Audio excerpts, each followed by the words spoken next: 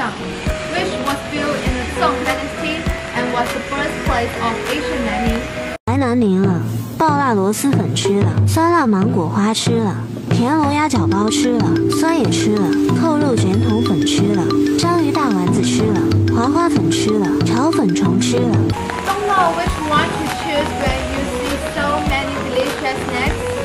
You can ask the passersby first which one is more Guangxi characteristic. You can say 哪个是广西特色小吃？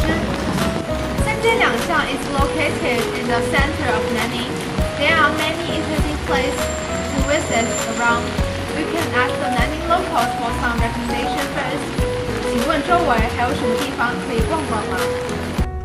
If you come to Nanning during the Spring Festival, you can visit 三街两巷. the New Year atmosphere will make you feel warm.